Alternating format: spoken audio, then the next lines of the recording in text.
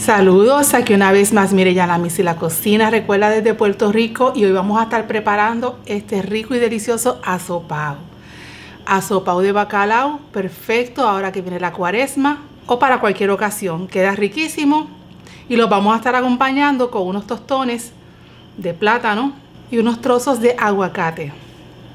Así es que Acompáñame a preparar este asopado de bacalao al estilo de la misi. Como ven, tenemos por aquí varios de los ingredientes que voy a estar usando. Lo primero que voy a hacer es pelar lo que hay que pelar, cortar, lavar. Y según lo voy a ir agregando en el proceso, le voy diciendo la cantidad que estoy usando de cada uno. Pero como ven, tengo por aquí celery, papa, calabaza, zanahoria, pimiento de todos los colores, ajo y cebolla. Y obviamente voy a agregar otros ingredientes, pero estos son los que tengo que pelar, cortar y lavar. Así es que voy a comenzar con esto y una vez estos ingredientes estén pelados, cortados y lavados, entonces voy a comenzar a preparar este asopao al estilo de la misa. En un plátano verde, ya lo tengo pelado, voy a rayarlo. Lo estoy rayando en el rallador de los ojitos más pequeños. Voy a rayarlo completo para preparar con esto unos bollitos de plátano. Bien, ya una vez tengo el plátano guayado, voy a darle un poquito de sabor. Aquí tengo un octavo de cucharadita de pimienta, un cuarto de cucharadita de sal, media cucharadita de ajo molido, media cucharadita de sofrito criollo. Vamos a mezclar bien todo esto. Y esto va a hacer que estos bollitos de plátano o bolitas de plátano, como usted le quiera llamar, tengan un sabor bien rico. Bien. Una vez ya está todo mezclado, vamos a hacer bolitas, ¿verdad? En mi caso lo estoy haciendo el tamaño de media cucharada.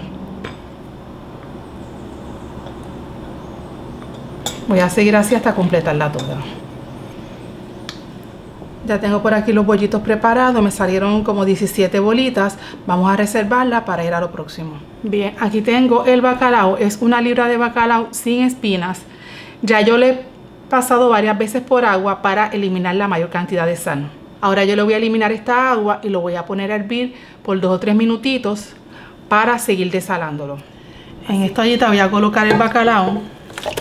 Es una libra de bacalao, ya yo le he desalado bastante. Ahora le voy a agregar agua. Agregué más o menos tres tazas de agua. Esto no se le agrega nada más. Ahora yo lo voy a poner a hervir. Una vez él comience ya ese hervor, entonces a partir de ahí yo voy a contar unos cuatro minutos para retirar. Bien, ya le he estado hirviendo por unos 4 minutos. Yo ahora voy a retirar el bacalao.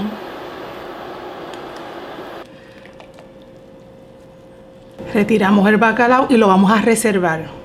Esta agua la vamos a conservar porque voy a usar por lo menos dos tazas para preparar el asopao.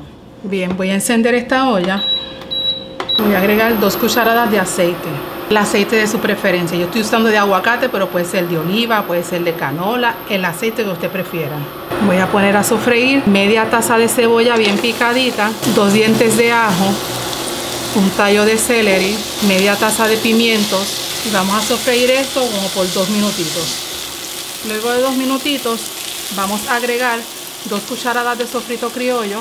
Si usted no quiere usar pimientos y cebolla entero, pues simplemente agregue más sofrito criollo media taza de salsa de tomate. De zanahoria tengo más o menos una y media taza. Una y media taza de papas. La calabaza yo agrego trozos grandes y trozos pequeños. Aquí hay más o menos dos tazas.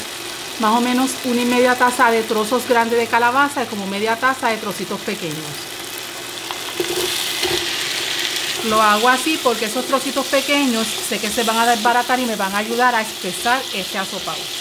Ahora agregamos el bacalao. Usted lo puede desmenuzar, pero esto desmenuza bien fácil.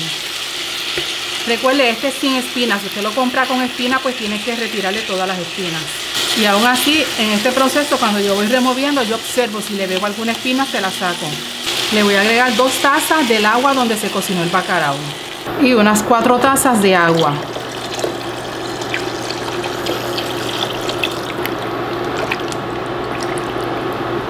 Voy a agregarle una cucharadita de orégano seco. Cuatro hojas de recao, también se le conoce como culantro. Y cuando esta agua esté hirviendo, entonces yo voy a agregar los bollitos de plátano y el arroz. Vamos a dejar que cocine por unos 5 minutitos para agregar lo próximo. Como podemos observar, ya está hirviendo otra vez, pues entonces en este momento yo puedo agregar mis bollitos de plátano. Vamos a ir agregándolos.